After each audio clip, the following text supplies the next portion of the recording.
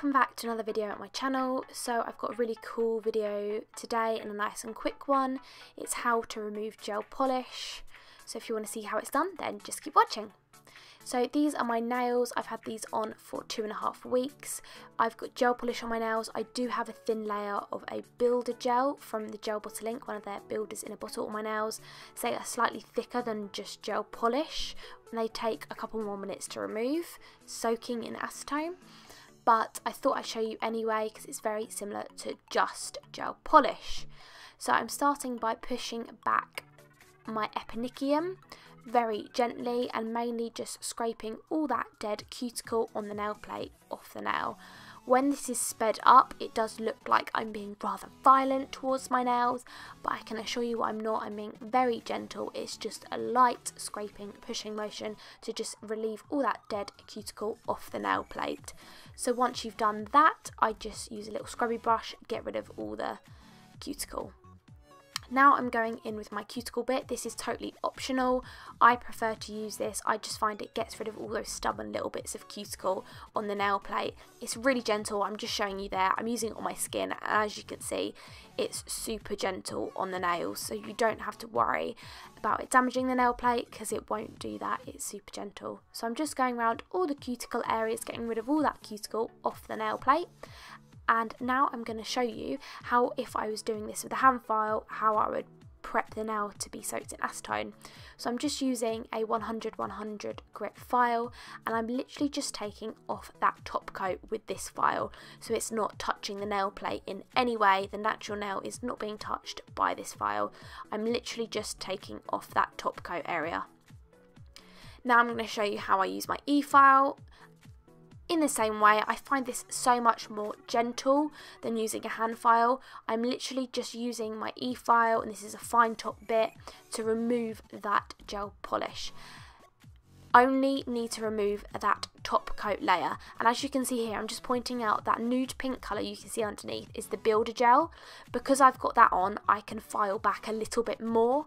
But if you've just got gel polish on just file that top coat of so you can so none of the colour goes just file off that top coat so these are ready to go and be soaked so I'm just applying a little bit of cotton pad soaked in acetone wrapping it up in foil and then putting on one of my favourite things in the world, which are manicure clips.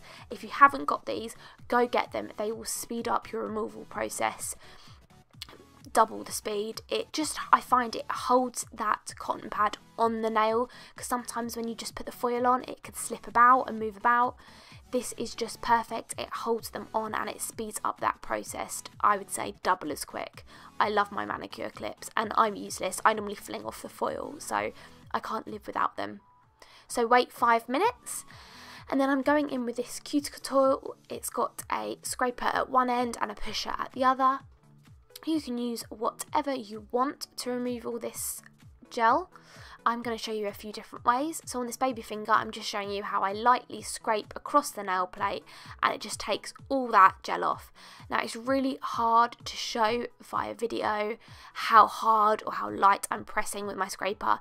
I'm barely even touching the nail. It does look quite vicious and I'm scraping the nail away, but that's not the case. I'm really lightly scraping, and if something doesn't want to come off, don't force it to come off, just leave it on there and you can buff the last little bits off.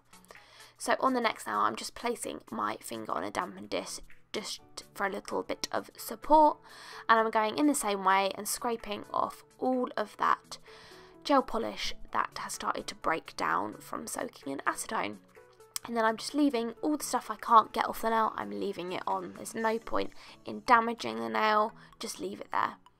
So on this nail, I am going to push. So rather than scrape, I'm going to use my scraper the opposite direction. So I'm showing you how you can use it in both ways. So I'm just pushing from the top rather than pulling and scraping. So you can use this tool in whatever way you feel comfortable doing. So onto the next nail, I always give it a little rub with the foil before I take it off. And on this side, I'm using the cuticle pusher to get it off. So as you can see here, you can use whatever you feel comfortable. I'm just using that to push off all that polish and it comes off super easily as you can see. So on this now I thought I'd show you how you could use one of those wooden sticks as well. It comes off just as easy but because it was quite short it was stabbing me in the hand so I went back to using my cuticle pusher and used the scrapey edge to pull off all of that broken down gel polish. And as you can see there, I've got little bits left on. That's just because I had a gel thin layer, so it was slightly more difficult to get off. And now I'm just using a white buffing block and going over the whole nail plate. So if you were going to re-nail go in with gel polish, that is what you do to prep the nail. And then I'm just cleansing off with some cleanser or alcohol applying my cuticle to rehydrate the nail. You would do this after you've put the polish on, but because I'm just doing this for the purpose of the video. So that is that nail all done. As you can see there's a tiny little bit of gel on my nail there. There will be a couple of bits. I'm happy to leave those bits on now because I normally go in with some acrylic extensions or hard gel extensions so I don't mind a little bit being left on.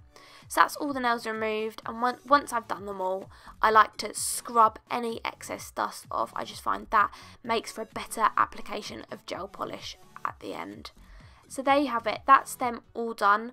I really hope you enjoyed this quick, easy tutorial. I get a lot of questions asking how long it takes me to remove gel polish and how to do it.